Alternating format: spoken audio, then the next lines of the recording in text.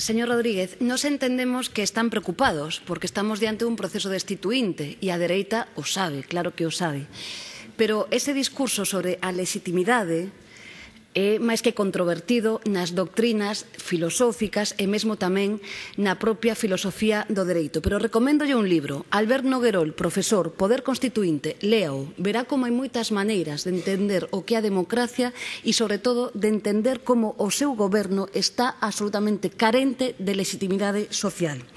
Tamén decirlle, señor eh, Rodríguez, que cando mm, vostede nos critica, semella que porque temos contradicións eh, respecto da lei de estabilidade esa eh, terrible que se aplica contra o povo, vou a dicir que limitar o déficit e recortar É o mesmo que gobernar para unha minoría de privilexiados e en contra das maiorías sociais. Esa é a faciana do seu goberno. E tamén, mm, respecto do que nos dicía da débeda, eu vexo moi mal, como supoño que xa sabe, pero aquí de verdade que isto é do Banco de España, capítulo 13.10 e capítulo 13.9. E nos di que Galicia no ano 13, como lles gusta dicir, ten unha débeda de 9.500 25 millóns de euros. E tamén nos di que o peso do PIB e Galicia no ano 2013 de 16,8%. E tamén lle dixen que adicamos do orzamento, se me expresei mal, eh, dende logo foi pola rapidez na expresión, adicamos ao orzamento de pago de servizo da débeda, é dicir, amortización de principal e pago de xuros, máis dun millón de euros, que un terzo, dixenlle, do orzamento que adicamos á sanidade. Estas son as realidades, non de Ague, senón do Banco de España. Fracaso seu. E tamén quería facer mm, unhas pequenas aportacións que antes non tiven tempo. Falaba de Meirama, e falaba eh, de as pontes. Ague propón nunha das súas iniciativas despois da reducción o peche das mesmas. E tamén pedimos en algunha das nosas iniciativas pois efectivamente que deixen de condenar o autoconsumo na produción eléctrica propia no noso país porque e cuestionen tamén a actual reforma contra a reforma que se está levando no sector enerxético contra Galicia porque sabe directamente que é unha reforma para os de arriba e en contra dos de abaixo particularmente De Galicia. E tamén temos unha iniciativa que pula porque a Xunta de Galicia investigue e loite contra esa fraude magnífica que hai no plan de inversións de Fenosa, que deixen de agochalo. E tamén temos un montón de iniciativas que teñen que ver con eh, mm, factores importantes doso que chaman vostedes modelo territorial, que é efectivamente a supresión das deputacións, o cosnamento, a retirada da eh, lei mm, chamada mm, ou antigamente da reforma da administración local, entre outras. Pero, ademais destas cousas, a Alternativa Galega de Esquerda quería eh, decirlle, mm, fixemos un pequeno traballo, unha especie de glosario mm, de termos, de, eh, mm, un glosario dun goberno de ananos, facendo, obviamente, un paralelismo, que llevou a ler. O primeiro sería o A, ananos, caracterización a caída do país que quere Feijó. O B de bárbaros, aqueles que como os alcaldes de Baralla ou Beade viven na esterqueira moral do fascismo.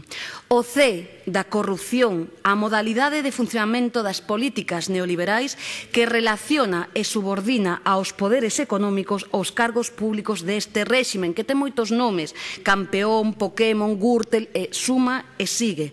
O D de débeda pública, esa que triplicou un sedicente goberno austero o é de especulación sector estratégico do modelo económico ultraliberal do Partido eh, Popular e que imos ver seguramente nesa anunciada nova lei do solo que promete ser unha vez máis unha burbulla altamente tóxica. O F de fracaso, rumbo de derrota marcado por un goberniño de capataces que destruen o ditado dos señores de negro da Troika, os seus amigos de Guindos entre eles. O G de galego, cultura que enche de odio a un goberno alleiro o I de industria, sector económico deserta, desertizado pola mala xestión de Feijó. A IOTA, o IOTA, que non existe, palabra adorada polo goberno do Partido Popular por non empregarse na lingua do povo que explotan, enganan, recortan e destruen. O L de lume, economía do lume, que enche os petos dunhas poucas empresas, permite mil xogos clientelares nos concellos e consume un país fermoso cheo de vida.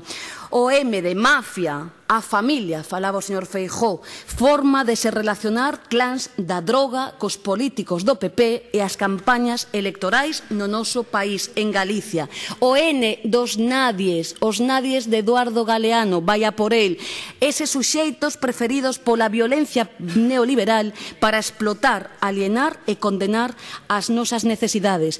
O N consonante que resume unha das terminacións nerviosas da dereita españolista, o a o, o obediencia, especialidade práctica do goberno Feijó respecto das empresas, dos amigos indirectos cos negocios oscuros, do goberno Rajoy e dos homes de negro que dende Bruxelas pechan o noso porvir.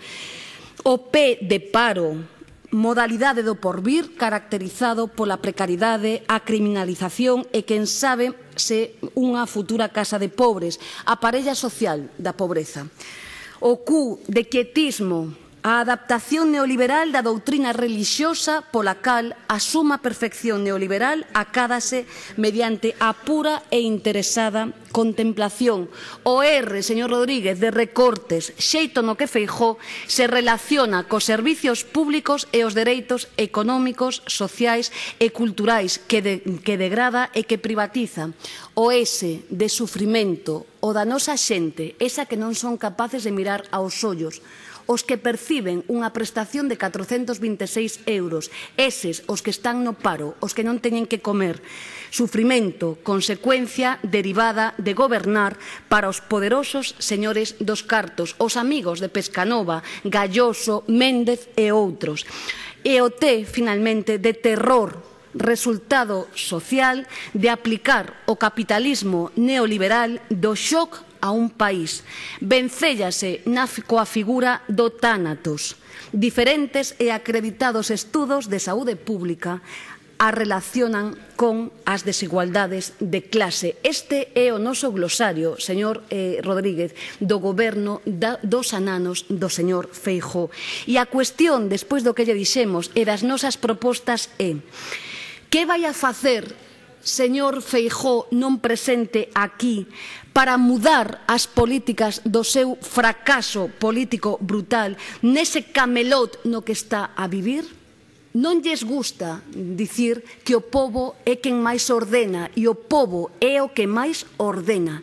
E non se preocupen que con vostedes ou contra vostedes, efectivamente, o pobo vailles a expropiar Camelot. O pobo nos conflictos laborais, nas folgas, o, o, o vindeiro día 24. O pobo nos centros de ensino, o pobo nas escolas, nas rúas. O pobo vai a quitarllos dese goberno ose se Vicente, ese goberno que goberna para os de arriba e masacra aos da baixa. Imos a expropiarlles Camelot. Sí, señor. E queremos, sobre todo, terminar con ese discurso dese poder destituinte que vostedes tamén reflicten que son atacar o núcleo duro do, do negocio. Quedanlles tan só as pensións o benestar social nesa inefable lei de dependencia non temos tempo a falar dela. E obviamente a baixada dos salarios a chamada devaluación de interna non é por mor da crise que teñamos que facer eso senón que unha estrategia súa para poder seguir esquilmando aos da baixo precisan unha ringleira indecente de parados e paradas para aplicar o que necesitan baixar os salarios de todos e todas nós. Vaya e como xa dixemos Podemos, efectivamente, mm, van a apoiar moi poucas iniciativas das nosas presentadas. Efectivamente, estamos noutro mundo que sae da bruma de Monte Pío. E remato xa, con Joaquín Sabina, a quen detesto, teño que dicilo. Falaba el, mm, seguramente o vamos a plantear aquí, de dúas cuestións que mm, reflexa moi ben o señor Feijó. Señor Feijó, vostede sería naquela canción o dione das caixas galegas e o atila do desemprego ou do paro no noso país. Vaya por diante que os imos a expropiar xustamente de Camelot. Saúde e tamén República. Polo Grupo Parlamentario Socialista ten a palabra o señor